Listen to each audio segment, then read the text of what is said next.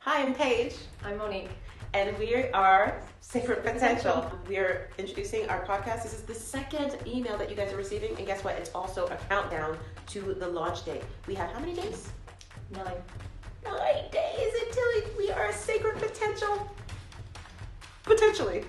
Your sacred potential too. This isn't just about us. If it was just about us, we would just keep doing this on our own. Nobody'd be listening to it. Very true. So yeah. Very true. So nine days left, you guys. March 20th. Mark the calendars. First day of spring. Oh my gosh, new beginnings.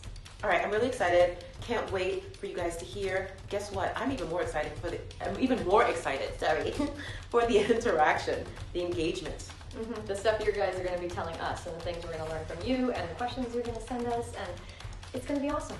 It's all about you. All right, guys. So look for March 20th.